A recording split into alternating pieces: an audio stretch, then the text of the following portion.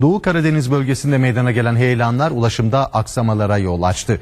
Rize'nin Ardeşen ve Artvin'in Şavşat ilçesinde heyelan nedeniyle kapanan yollar ekiplerin çalışmasının ardından trafiğe açıldı. Doğu Karadeniz bölgesinde kar yağışının ardından toprak suya doydu.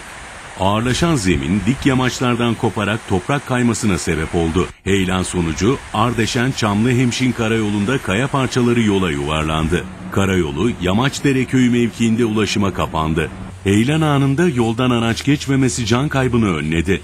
Ekipler kentin önemli turizm merkezlerinden Ayder Yaylası'na giden yolun ulaşıma açılması için çalışma başlattı. Ulaşım alternatif güzergahtan sağlanırken kapalı yol iş makinalarının 2 saatlik çalışmasıyla ulaşıma açıldı. Artvin Şavşat Karayolu Bağlıca Köyü mevkiinde de heyelan meydana geldi. Sürücüler yamaçtan kopan kaya parçalarının bir kısmını yardımlaşarak kaldırdı. Karayolları ekibi ulaşıma kapanan yolu kısa sürede temizledi.